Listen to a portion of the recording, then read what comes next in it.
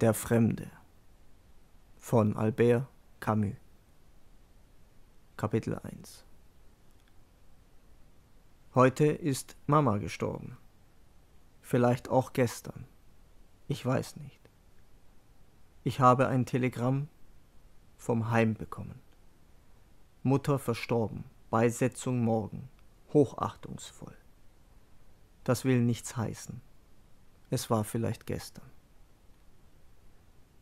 Das Altersheim ist in Marengo, 80 Kilometer von Algier entfernt. Ich werde den Bus um zwei nehmen und nachmittags ankommen. Auf die Weise kann ich Totenwache halten und bin morgen Abend wieder zurück. Ich habe meinen Chef um zwei Tage Urlaub gebeten, und bei so einem Entschuldigungsgrund konnte er sie mir nicht abschlagen. Aber er sah nicht erfreut aus. Ich habe sogar gesagt, es ist nicht meine Schuld. Er hat nicht geantwortet. Da habe ich gedacht, dass ich das nicht hätte sagen sollen. Ich brauchte mich ja nicht zu entschuldigen. Vielmehr hätte er mir sein Beileid aussprechen müssen. Aber das wird er wahrscheinlich übermorgen tun, wenn er mich in Trauer sieht. Vorläufig ist es ein bisschen so, als wäre Mama gar nicht tot. Nach der Beerdigung allerdings wird es eine abgeschlossene Sache sein. Und alles wird einen offizielleren Anstrich bekommen haben. Ich habe den Bus um zwei genommen. Es war sehr heiß.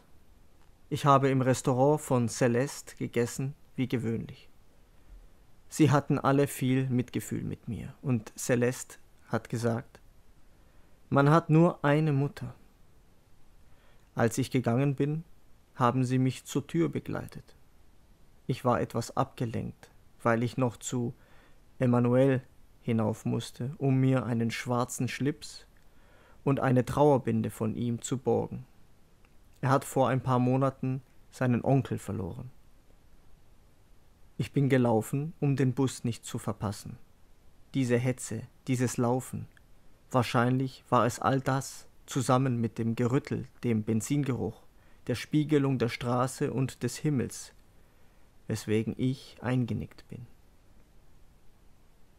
Ich habe fast während der ganzen Fahrt geschlafen, und als ich aufgewacht bin, war ich gegen einen Soldaten gerutscht, der mich angelächelt hat und gefragt hat, ob ich von weit her käme. Ich habe ja gesagt, um nicht weiterreden zu müssen. Das Heim ist zwei Kilometer vom Dorf entfernt. Ich bin zu Fuß hingegangen. Ich wollte sofort zu Mama. Aber der Pförtner hat gesagt, ich müsste erst den Heimleiter sprechen. Da der beschäftigt war, habe ich ein wenig gewartet. Während dieser ganzen Zeit hat der Pförtner geredet, und dann habe ich den Heimleiter zu Gesicht bekommen. Er hat mich in seinem Büro empfangen. Es war ein kleiner Alter mit einem Orden der Ehrenlegion. Er hat mich mit seinen hellen Augen angesehen. Dann hat er mir die Hand gedrückt und sie so lange festgehalten, dass ich nicht recht wusste, wie ich sie zurückziehen sollte. Er hat in einer Akte nachgelesen und hat gesagt, Madame Meursault ist vor drei Jahren hierher gekommen. Sie waren ihr einziger Beistand. Ich habe geglaubt, er wollte mir etwas vorwerfen und habe angefangen, es ihm zu erklären. Aber er hat mich unterbrochen. Sie brauchen sich nicht zu rechtfertigen, mein liebes Kind. Ich habe die Akte Ihrer Mutter gelesen. Sie konnten sie nicht versorgen. Sie brauchte Pflege. Ihre Einkünfte sind bescheiden, und alles in allem war sie hier glücklicher. Ich habe gesagt, ja, Monsieur le Directeur.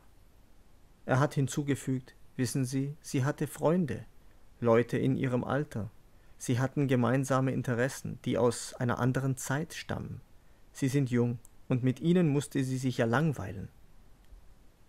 Das stimmte. Als Mama noch zu Hause war, verbrachte sie ihre Zeit damit, mir schweigend mit dem Blick zu folgen. In den ersten Tagen im Heim weinte sie oft aber das war wegen der Umstellung. Nach ein paar Monaten hätte sie geweint, wenn man sie wieder aus dem Heim herausgeholt hätte. Wieder wegen der Umstellung. Das war ein wenig der Grund, weshalb ich im vergangenen Jahr fast nicht mehr hingefahren bin. Und auch, weil es mich um meinen Sonntag brachte. Ganz abgesehen von der Mühe, zum Bus zu gehen, Fahrkarten zu lösen und zwei Stunden zu fahren. Der Heimleiter hat noch weiter geredet. Aber ich hörte ihm kaum noch zu. Dann hat er gesagt, ich nehme an, Sie wollen Ihre Mutter sehen. Ich bin aufgestanden, ohne etwas zu sagen, und er ist mir zur Tür vorausgegangen. Auf der Treppe hat er mir erklärt, wir haben sie in unsere kleine Leichenhalle gebracht, um die anderen nicht aufzuregen. Jedes Mal, wenn ein Heimbewohner stirbt, sind die anderen zwei oder drei Tage nervös, und das erschwert die Arbeit. Wir sind über einen Hof gegangen, auf dem viele alte Leute waren, die in kleinen Gruppen miteinander plauderten. Sie verstummten, als wir vorbeigingen. Und hinter uns setzten die Unterhaltungen wieder ein. Wie das gedämpfte Schnattern von Sittichen. An der Tür eines kleinen Gebäudes hat der Leiter sich verabschiedet. Ich gehe jetzt, Monsieur Merceau. Ich stehe Ihnen in meinem Büro zur Verfügung. Im Prinzip ist die Beerdigung für 10 Uhr morgens angesetzt. Wir haben gedacht, dass Sie so Totenwache bei der Verstorbenen halten können. Noch eins. Ihre Mutter hat, wie es scheint, ihren Mitbewohnern gegenüber oft den Wunsch geäußert, kirchlich beerdigt zu werden. Ich habe es übernommen, das Nötige zu veranlassen, aber ich wollte sie davon in Kenntnis setzen. Ich habe ihm gedankt. Mama hatte, ohne dass sie Atheistin war, zu ihren Lebzeiten nie an die Kirche gedacht. Ich bin hineingegangen. Es war ein sehr heller Raum, weiß gekalkt und mit einem Glasdach. Er war mit Stühlen und x-förmigen Gestellen ausstaffiert. Zwei davon, in der Mitte, trugen einen Sarg, auf dem der Deckel lag. Man sah nur glänzende, kaum angezogene Schrauben sich von den nussbraun gebeizten Brettern abheben. Neben dem Sarg saß eine arabische Krankenpflegerin im weißen Kittel und mit einem grellen Tuch um den Kopf.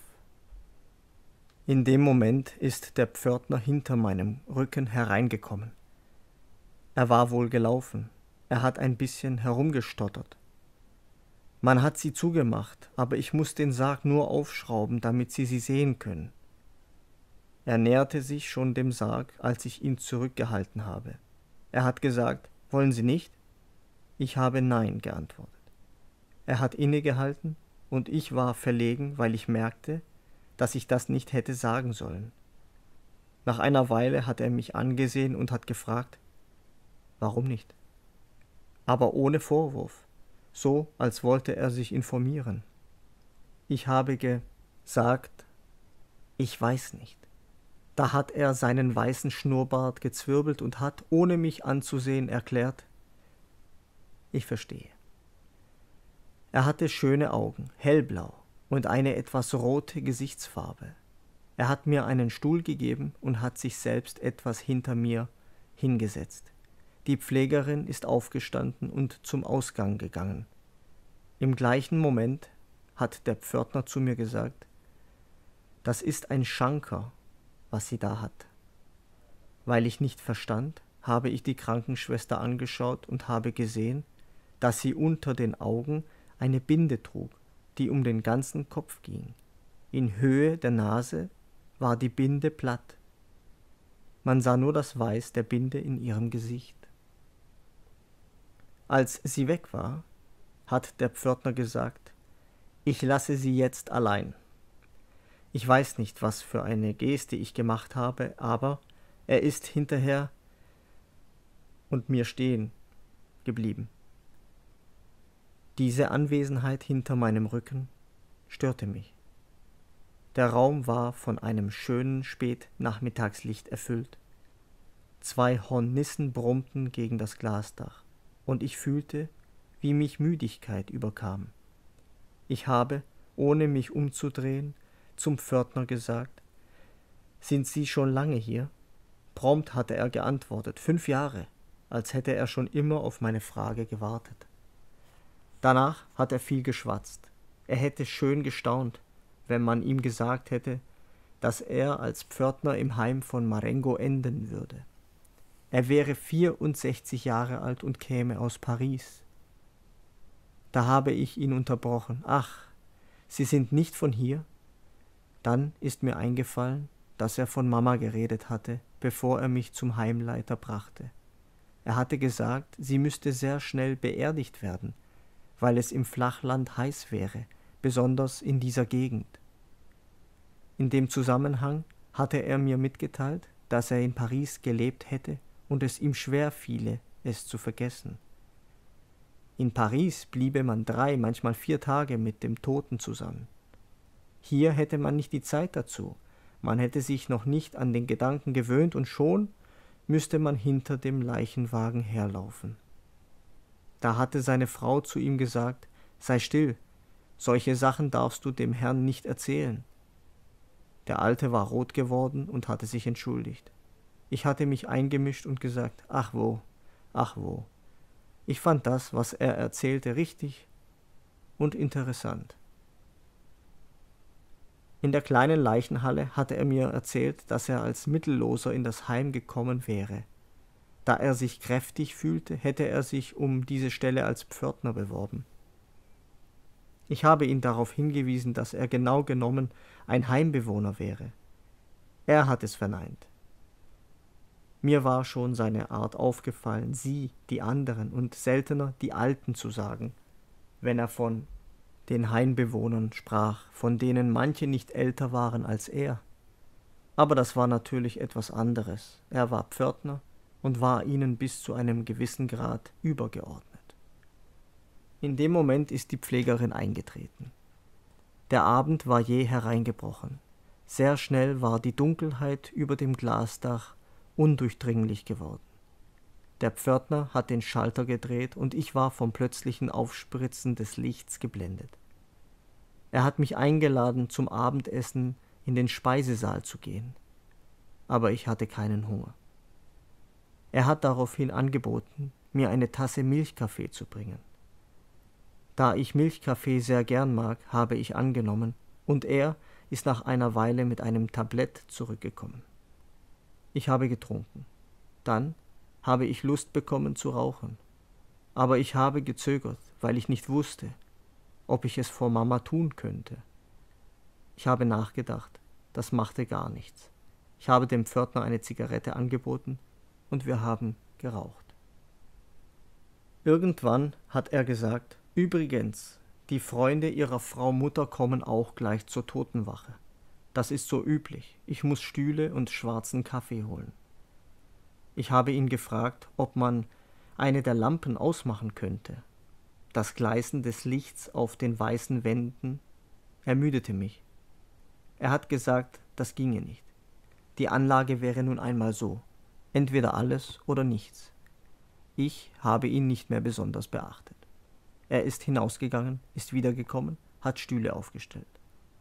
Auf einen hat er Tassen rings um eine Kaffeekanne gestapelt.